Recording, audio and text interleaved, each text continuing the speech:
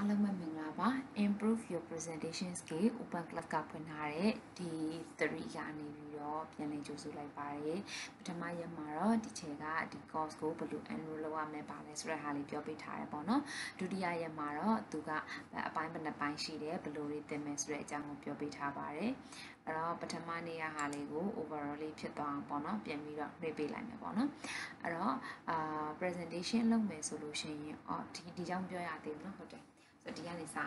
အဲ့တော့ presentation လုပ်မယ်ဆိုလို့ရှိရင်တော့ဒီ tool တွေကိုအသုံးပြုပြီးတော့လုပ်လို့ရပါတယ်။ဒါတွေကဘာလဲဆိုလို့ရှိရင်တော့ဒါကတော့ PowerPoint presentation ဖြစ်ပါတယ်။နောက်တစ်ခုကတော့ Google Slide ဖြစ်ပါတယ်။ဒါကတော့တကယ်လို့အသုံးအများဆုံးပေါ့နော်။ Site tag ဆိုပြီးတော့ဒီလိုပုံစံမျိုးတွေရှိပါတယ်။ဒါပေမဲ့အသုံးနေရတယ်ပေါ့နော်။အဓိကတကယ်လို့အသုံးများတာတော့ PowerPoint နဲ့ Google Slide ကိုအသုံးများတာပဲဖြစ်ပါတယ်။အဲ့တော့အပိုင်းနှစ်ပိုင်းပါမယ်လို့ပြောခဲ့တယ်။ပထမတစ်ပိုင်းကကြတော့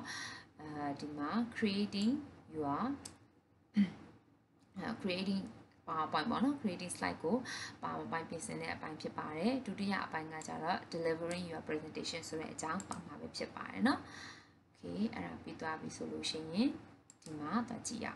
အဲ့တော့ဒီချယ်တို့ကဘာလုပ်ဖို့လိုလဲဆိုတဲ့အခါမှာအရေးကြီးဆုံးကတော့ don't open powerpoint အဲ့တော့ presentation တစ်ခုခုလုပ်မယ် idea တစ်ခုခုကို present လုပ်တော့မယ်တင်ပြတော့မယ်ဆိုတဲ့အခါကြလို့ရှိရင် PowerPoint ကိုသွားပြီးတော့စပြီးတော့မဖွင့်လိုက်ပါနဲ့တဲ့ PowerPoint ကိုစပြီးတော့ဖွင့်လိုက်တယ်ဆိုလို့ရှိရင်ဒီချယ်တို့က PowerPoint ထဲမှာပဲပိတ်မိနေတတ်ပါတယ်တဲ့အဲ့တော့ဘယ်လိုလဲဆိုတဲ့ဟာလေးကိုဒီချယ်ပြပါမယ်အဲ့တော့ဒီမှာ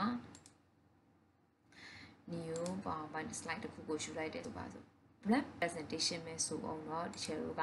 design ဆိုတာကိုနှိပ်လိုက်ပြီးဆိုတာနဲ့ဒီဘက်ဘေးနားမှာ box တွေပေါ်လာမှာပဲဖြစ်ပါ တယ်เนาะအဲ့တော့ဒီမှာတခုခု design နှိပ်လိုက်မယ် design နှိပ်လိုက်ပြီးဆိုတာနဲ့သူတို့ကဒီဘက်ဘေးနားမှာပုံစံတွေပေါ်လာလိုက်မယ်အဲ့တော့ဒီရဲမှာပဲဒီချယ်တို့ကပိတ်မိနေနိုင်တယ်နောက်ပြီးတဲ့အခါမှာဒီမှာ new slide ကိုယူလိုက်တဲ့အခါမှာဒီလိုမျိုးပုံစံတွေနဲ့ပြထားတဲ့အခါမှာဒီချယ်တို့ကဒီထဲမှာပဲပိတ်မိနေတာမျိုးဒီနေရာမှာငါဘာထည့်ရင်ကောင်းမလဲဆိုတာမျိုးနဲ့ပဲအဆုံးသတ်သွားတတ်ပါတယ်အဲ့တော့ဘာလုပ်သင့်လဲဆိုတဲ့အခါကြလို့ရှိရင်ဒါကိုအရင်ဆုံးစမဖွင့်ပါနဲ့ပထမဦးဆုံးစဉ်းစားရမှာက ဘာလဲဆိုတဲ့အခါကျတော့ကိုယ့်ရဲ့ outline ကိုအရင်ဆုံးစဉ်းစားရမှာပဲဖြစ်ပါတယ်အဲ့တော့အရင်ဆုံးဘာလုပ်ရမလဲဆိုတဲ့အခါကျတော့နော်ဒါအာဒီလိုမျိုး ဒီနေရာမှာပုံစံမျိုးတွေရှိနေတယ်အဲ့ဒီကနေပြီးတော့မှဒီချယ်တို့ကိုပိတ်မိသွားတာမျိုးတွေဖြစ်နိုင်တယ်အဲ့တော့ဘာလုပ်ရမလဲဆိုတဲ့အခါကျလို့ရှိရင်ဒီချယ်တို့ရဲ့ message ကိုပြန်ပြီးတော့တွားရမယ်အဲ့တော့ဆိုကြပါစို့ဒီချယ်ကအခု online ကနေပြီးတော့အလုပ်ရှာဖို့စဉ်းစားတယ်အဲ့ဒီအချိန်မှာဒီချယ်တို့ရဲ့အလုပ်ရှင်ကဘာပြောလာလဲဆိုတဲ့အခါကျတော့ကိုယ့်ကိုမိတ်ဆက်တဲ့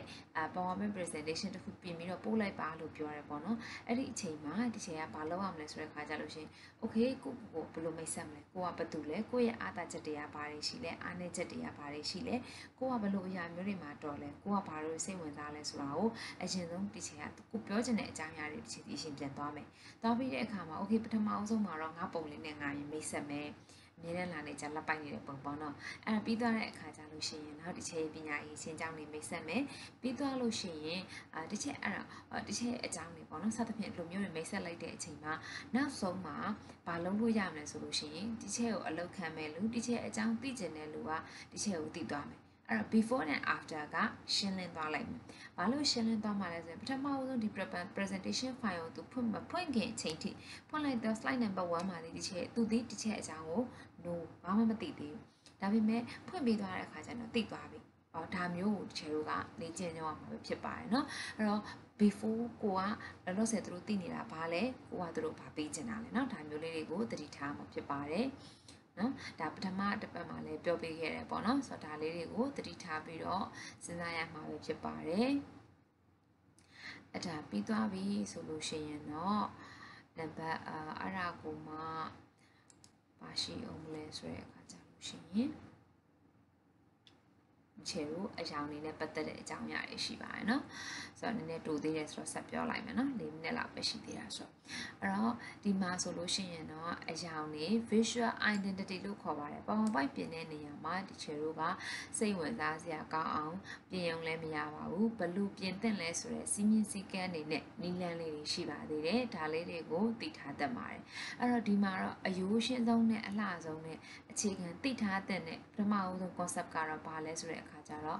pick colors ပါเนาะအရောင်တွေကိုရွေးချယ်တဲ့အရာနဲ့ပတ်သက်ပြီးတော့သိထားသင့်ပါတယ်အဲ့တော့ blue ဆိုတဲ့ခါကြလို့ရှိရင်ဘာကိုပြောချင်လဲဆိုတဲ့ခါကြတော့ Facebook ကိုရည်ညွှန်းတယ်လို့ပါပဲ friendness friendliness ဆိုတဲ့ကတော့တရားနဲ့တရားနဲ့ရင်းနှီးမှုဆိုတဲ့ဟာကိုပြချင်တယ်เนาะပြီးသွားလို့ရှိရင် confidence ကိုပြချင်တာเนาะပြီးတော့အားလုံးစုစည်းထားရဲဆိုတဲ့ database ဖြစ်တဲ့ unity ဆိုတာကိုပြချင်တာเนาะဒါမျိုးဆိုလို့ရှိရင် blue ကိုသုံးပါတယ် green ကကြတော့ဒါကလက်ဆက်မှုကိုပြချင်တာသဘာဝအတိုင်းဖြစ်တယ်ဆိုတဲ့ဟာကိုပြချင်တာအဲ့တော့ organic product တွေမှာဆိုလို့ရှိရင်သိရွက်စိမ်းလေးတွေထည့်တတ်ကြတယ်เนาะနောက်တစ်ခုကကြတော့ red ကိုကြတော့ကျဲတို့က strength အနေနဲ့ပြောချင်တာအားရှိရဲဆိုတဲ့နေရာမျိုးเนาะပြီးတဲ့အခါမှာ passion ဖြစ်တယ်လို့ပြောချင်တာအဲ့တော့ Coca-Cola ရဲ့အရာဒီဘာကိုရည်ညွှန်းလဲဆိုလို့ရှိရင်ဒါတွေကိုရည်ညွှန်းတာပဲဖြစ်ပါတယ်เนาะအဲ့တော့ဒီချဲတို့ကဘာတွေသိထားတဲ့သေးလဲဆိုတဲ့အခါကြလို့ရှိရင်အာ color combination လောက်တာတွေကိုလည်းသိထားတတ်ပါတယ်။အဲ့ဒီမှာဘာလုံးလာလဲဆိုတဲ့အခါကြလို့ရှိရင်စိတ်ဝင်စားစရာကောင်းတာလေးတွေရှိပါတယ်။ဒီ website ထဲမှာဆိုလို့ရှိရင်လည်းသူတို့အာကာအာ color ပွားတဲ့ link တွေပေးထားတယ်ပေါ့နော်။ဆိုတော့ဒီမှာအရာတွေကိုဒီလိုမျိုးခွဲကြည့်လိုက်တဲ့အခါမှာတဲ့ဒီလိုမျိုး opposite ဖြစ်နေတဲ့အရာဒီကောင်နဲ့ဒီကောင်နဲ့ ဒါတွေက attractive ဖြစ်တယ်လို့သူတို့ကပြောပါတယ်။တယောက်နဲ့တယောက်နဲ့ဖြည့်ဆက်တဲ့အရာမျိုးလို့ပြောတယ်ပေါ့နော် complementary color လို့ပြောပါတယ်။ဒီလိုနှစ်ခုတွေ့ထားတာကတော်တော်လှတယ်လို့ဆိုရယ်ကြည့်ကောင်းတယ်လူတွေကို attract ရှိတယ်ဆိုရယ်ပုံစံမျိုးတွေပြောချက်ပြောတတ်ကြပါတယ် အဲ့ဒါကြောင့်လဲဟိုးအရင်တလောတော့ကဆိုလို့ရှိရင်ကောင်မလေးတွေပေါ့နော် main ကလေးတွေဝတ်တဲ့နေမှာ opposite color လေးတွေ trend ပေါ့နော်ဒါမျိုးလေးတွေ opposite opposite ဆိုပြီးတော့ရောင်းလို့ရရောင်းကြတယ်ဝယ်လို့ရတယ်ဝယ်ကြတယ်ပေါ့ကွယ်နော်အဲ့တော့တခုဆိုလို့ရှိရင် Mozilla Firefox ဆိုလို့ရှိရင်ဒါအကုန်လုံးသိကြရတယ်ပေါ့သူ့ရဲ့ logo combination ကိုကြည့်မယ်ဆိုလို့ရှိရင်လည်းအပြာနဲ့အဝါနဲ့ဆန့်ကျင်မဲ့အရာကိုချိန်ဆက်ပြီးတော့ဟုတ်အသုံးပြုထားတာဖြစ်ပါတယ်ပေါ့နော်မနက်3နာရီထိုးတော့မယ်ထားလို့မရမယ်အိပ်ရသေးဘူးလေ အဲ့တော့လူကတန်းတော့တန်းနေပြီဒီကစောင့်နေကြမယ်ထင်လို့လေလှုပ်ပေးနေတာပေါ့နော်အစားလိုက်လှုပ်ကြပါဒီချိန်ကအလုံးစောင့်နေကြမယ်လို့ဆိုပြီးတော့ရှင်းရှင်းပြန်လည်ပြီးအချက်လိုက်လှုပ်ပေးနေတာပေါ့လေအဲ့ဒါထားပါတော့เนาะဆိုတော့ analog color ကြတော့ဒီမျိုးရှိတယ်။ तू ကကြတော့ဗာလဲဆိုလို့ရှိရင် next to each other တစ်ခုနဲ့တစ်ခုကတ်နေတာဥပမာဘယ်လိုမျိုးလဲဆိုလို့ရှိရင်ဒီမှာ နော်အနီနဲ့အဝါနဲ့ကတ်နေတယ်လို့မျိုးနော်အဲ့လိုမျိုးကတ်နေတာမျိုးကိုပြောပါတယ်တဲ့အဲ့တော့ဒီမှာဆိုလို့ရှိရင်အနီနဲ့အဝါနဲ့ကတ်နေတဲ့ဟာကိုသူတို့သုံးထားတယ် rapu နော် rapu ဆိုလို့ရှိရင်ချစ်တာမြင်နေကြပဲပေါ့နော်အဲ့တော့ဒီမှာသူပါပေးထားလဲဆိုလို့ရှိရင် Adobe Color CC ဆိုတာပေးထားတယ် right click ဖွင့်ပြီးတော့နှိပ်ကြည့်လိုက်ပါပြီးလို့ရှိရင် Color Hazard ဆိုပြီးတော့ပေးထားတယ်အဲ့ဒီမှာဘာတွေရှိလဲဆိုတဲ့အခါကျလို့ရှိရင်အရန်စိတ်ဝင်စားစရာကောင်းပါတယ် Color Wheels တွေရှိပါတယ် Color Wheels ဆိုတာဘယ်လိုမျိုးလဲကြည့်ကြအောင်နော် အော်အဲ့ချင်နေပြီဒါပြီးရင်တော့အိတ်တော့မရတော့နော်ဒီမှာ color weight ဆိုတာရှိပါတယ်အဲ့တော့ဒီချေတော့ကဒီမှာ color တွေရဲ့ကုတ်နံပါတ်တွေကိုသိနိုင်ပါတယ်ဒီကုတ်နံပါတ်တွေကိုသိခြင်းအပြင်ဘယ်ဆက်မှာမဆိုတခြားလေးကြလို့ရှိရင်ကွန်ပျူတာတွေကအရာမမှန်တာရှိပါတယ်အဲတချို့ကွန်ပျူတာတွေကအကြောင်းမျိုးမျိုးကြောင့်ပေါ့လေကိုကပဲအချိန်နာပြူတာကြောင့်မှားတာကြောင့်လည်းဖြစ်တယ်ပေါ့နော်အဲ့တော့မှန်ညင်းနေဆိုဒီချေကကုတ်ကိုမှတ်ရတယ်အဲ့တော့ဒီမှာဆိုလို့ရှိရင်ဒီချေကတကယ်ဒါဟုတ်ဒီချေကအရာပြောင်းနေတယ်ပေါ့နော်โอเคဒီ လိုလာခဲ့ဒီအောင်ပြောင်းလိုက်မယ်အဲအဲ့ဒီမှာဒီမှာလဲသူတို့ကခုနက complementary color ဆိုတာရှိတယ်အဲဒါဆိုလို့ရှိရင်ဘယ်လိုမျိုးလဲဒီလိုဆိုလို့ရှိရင်ဘာ color type လဲဒီမှာဆိုလို့ရှိရင်အောင် complementary ဆိုဒီမှာเนาะဒါဆိုလို့ရှိရင်တော့ဘာသုံးလဲ opposite လေးတွေချိတ်ချိတ်ပြီးတော့သုံးသွားတယ်တွေ့လားနော်ဆိုတော့ဒါနဲ့ဒါနဲ့အဲဒါဆိုလို့ရှိရင်ဒါ complementary color နော် အဲ့တော့ complementary color တွေဆိုလို့ရှိရင်ဒီလိုမျိုးတွေသုံးလို့ရပါတယ်စမ်းကျင်ဘက်တွေသုံးပါတယ် analog ဆိုလို့ရှိရင်တော့ basic ကရက်တွေသုံးထားပါတယ်နောက်စသဖြင့်ဒီမှာအများကြီးရှိပါတယ်ဒီချေတို့ကအရင်စိတ်ဝင်စားကြကောင်းတယ်နော်อืมဒါမျိုးလေးတွေကိုသုံးရတာပဲဖြစ်ပါတယ် color hashtag ဆိုလို့ရှိရင်တော့သူကကြတော့ဒီချေတို့ကို color တစ်မျိုးတည်းကိုမှအယောင်တွေအများကြီးလှည့်ပေးထားတာပါအဲ့ဒီမှာဒီချေတို့ကကိုကြိုက်တဲ့ပုံစံကိုတွားပြီးတော့ယူလို့ရပါတယ်ကုတ်ဒီဘယ်လောက်ရှိလဲဒါတွေဘယ်လိုချိန်လို့ရလဲစသဖြင့်ဒါမျိုး တွေကို copy ကူးပြီးတဲ့အခါမှာ copy and paste လုပ်ပြီးတဲ့အခါကျတော့သုံးလို့ရတာပဲဖြစ်ပါတယ်เนาะအဲ့တော့